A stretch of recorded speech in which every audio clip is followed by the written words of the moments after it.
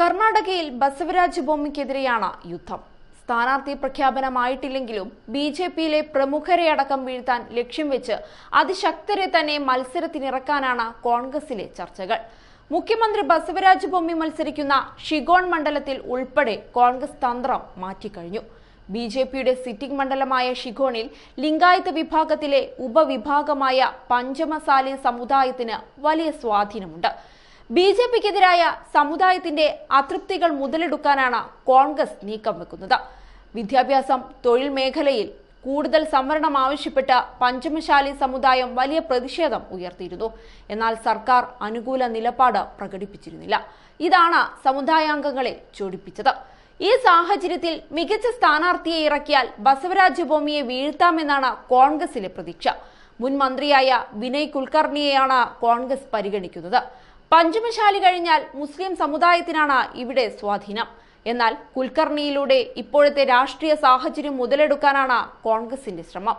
കോൺഗ്രസ് കനത്ത മത്സരം പുറത്തെടുക്കാൻ ഒരുങ്ങുന്ന മറ്റൊരു മണ്ഡലമാണ് ദ്വാരക വെസ്റ്റ്. ബി ജെ പിയിലെ പ്രമുഖ നേതാവായ അരവിന്ദ് ബെല്ലാഡിന്റെ മണ്ഡലമാണിത്.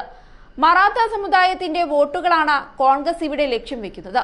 മറാത്ത നേതാവായ എസ് ആർ മോറിനെയാണ് കോൺഗ്രസ് ഇവിടെ മത്സരിപ്പിക്കുക. അതേസമയം തന്റെ മുൻ മണ്ഡലമായ കലഘടകയിൽ മത്സരിക്കാനുള്ള താൽപര്യത്തിലാണ് അദ്ദേഹം. കലഘടകയിൽ കെ പി സി സി അധ്യക്ഷൻ ഡി കെ ശിവകുമാറും പ്രതിപക്ഷ നേതാവും മുൻ മുഖ്യമന്ത്രിയുമായ സിദ്ധരാമയ്യും തമ്മിലുള്ള തർക്കം സ്ഥാനാർത്ഥി നിർണയത്തിന് തട തീർക്കുന്നുണ്ടെന്നാണ് സൂചന. രാജാജി നഗർ മണ്ഡലത്തിൽ നിന്നും B J P M L C പുട്ടണയെ കോൺഗ്രസിലെത്തിക്കാനുള്ള നീക്കങ്ങൾ പാർട്ടി നടത്തുന്നുണ്ട്.